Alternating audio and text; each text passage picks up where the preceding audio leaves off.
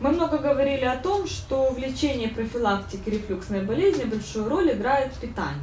А есть ли какой-то определенный стол, которого нужно придерживаться при этой болезни? На сегодняшний день вообще как бы к диетам относятся очень э, осторожно, и так и вот как если раньше по Пезнеру были там определенные первый, второй, третий, четвертый, пятый, сейчас мы вообще пытаемся больше уходить от этих номеров столов. Но если вот э, исходить к тому, к чему мы больше, это вот первый стол, это стол, который, стол, который применяется при заболеваниях желудка, двенадцатиперстной кишки, при язвах. А какие продукты входят в этот стол? Щадящий для желудочно-кишечного тракта. Эта пища должна быть механически, термически щадящей, да, то есть она должна быть не горячая, не холодная, она должна быть не острая, не кислая, это не должен быть кусок мяса там размером там 10 на 10 сантиметров. Это чаще, это лучше фрикадельки, да, это должно быть нежирное мясо, э, э, варное, там, отваренное, тушеное. Это кусочек рыбы нежирный, да, хек, там, ментай отваренный. Это вареные яйца, это бананы, это какой-то бисквит легкий. Что нельзя есть при ГЭР? Все продукты, которые вызывают повышение кислотопродуцирующей функции желудка и которые расслабляют нижний пищеводный сфинктер. Здесь мы исключаем всякие газированные напитки в виде кока-колы, энергетика, кофе, э, чай. Это соки, соки цитрусовые, ананасовые, которые кислые, да, это э, жирные сорта мяса, жирные сорта рыбы, это кислые продукты. Чаще это капуста, исключается из приема. Это горох, это бобовые, которые вызывают повышенное вздутие кишечника. Это виноград, кисломолочные продукты в большом количестве, потому что они тоже усиливают закисление среды желудочно-кишечного тракта. То есть кефир, ряженка, творог надо либо вообще исключить, либо ограничить? Ограничить и принимать их только свежеприготовленные. Молоко можно?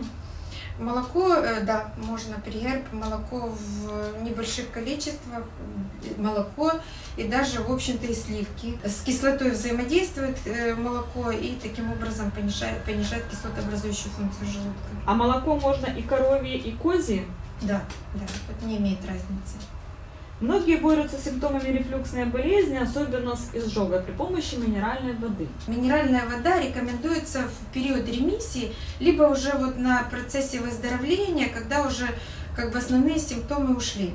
Потому что минеральная вода, вот первое время, когда мы принимаем минеральные воды, а пригерб это щелочные минеральные воды, это боржоми, поляна квасова, она вначале облегчает ситуацию, но потом, когда вот э, всасываются вот эти соли, которые остаются на поверхности, если есть острое воспаление в желудке, да, они начинают раздражать и начинают повышенное выделение кислоты вызывать, вот, раздражая слизистую оболочку. И таким образом провоцируют воспаление. То есть в остром периоде минеральные воды не рекомендуют. Что делать любителям чая? Чай э, не, не запрещен при герб. Единственное, что он должен быть не горячим. Питься не после еды, а до еды желательно, либо выдерживаться интервал 2 часа после еды. Учитывая опыт приема зеленого чая у больных, и особенно зеленого чая с медом, э, перенесла бы его на прием до еды, либо вообще исключила из приема, если он провоцирует рефлюкс э, желчный из 12-перстной э, кишки, потому что э, мед, ну все мы знаем, и зеленый чай, он является же хорошим желчегонным средством. И вот такой выброс желчи усиливает симптомы герба. Можно ли принимать алкоголь при рефлюксной болезни?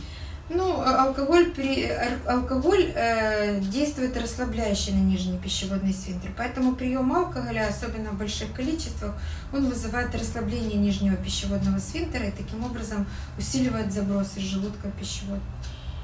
Некоторые больные ГЭР, боясь вызвать обострение заболевания, сводят к минимуму прием пищи. Можно ли голодать при этой болезни? Нет, голодать нежелательно. Наоборот, это должен быть дробный прием. Это должны быть небольшие порции. Мы больному должны рекомендовать кушать не менее 4 раз в день. А каким вообще должно быть примерное меню при ГЭР на один день? Утром это там гречневая каша, например, с отварным кусочком мяса. Да? Э -э ну, чай, до, еды выпитый, да, не после еды. Чай, с, там, допустим, с э, с сыром, с кусочком сыра нежирного, и э, гречневая каша с кусочком отварного мяса. Второй, второй завтрак это банан, например, перекусить, ну, ватрушка какая-то, да. В обед это, доп- допустим, это суп э, с какой-то крупой, с, э, с теми же фрикадельками, может быть, суп. Ну, это отварной такой диетический суп, не- незначительный, не особо повышающий кислотообразующую функцию желудка. Не зажаренный желательно. На второй это могут быть э, пюре, например, с э, отварной рыбой. На ужин это может быть запеканка, там со сметанкой нежирная, чай с печеньем. Это лучше даже свежее створоженное молоко. То есть, если человек покупает утром молоко, бросает туда немножко черстого хлеба, и к вечеру оно скисляется, оно хорошее, оно не повышает кислотообразующую функцию.